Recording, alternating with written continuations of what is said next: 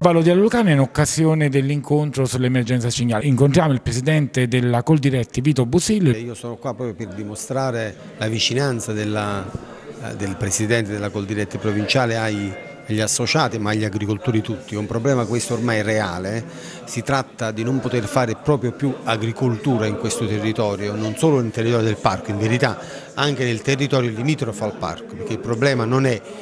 di per sé il parco, ma il problema è ormai il numero esagerato di cinghiali, non solo di cinghiali, ma anche di lupi, ma anche di cervi, ma anche di volatili, quindi diventa complicato proprio svolgere l'attività agricola.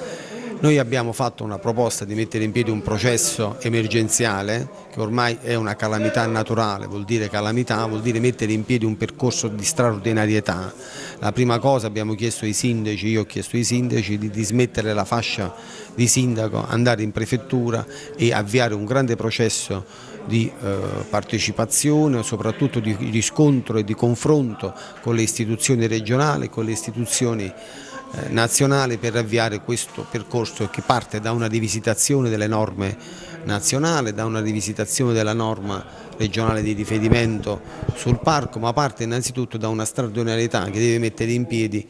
un processo che metta l'agricoltura ancora in condizione di poter fare l'agricoltura. Noi chiediamo questo, lo chiediamo alle istituzioni, lo chiediamo alla regione, lo chiediamo al governo italiano, c'è bisogno adesso di avviare un grande processo di eh,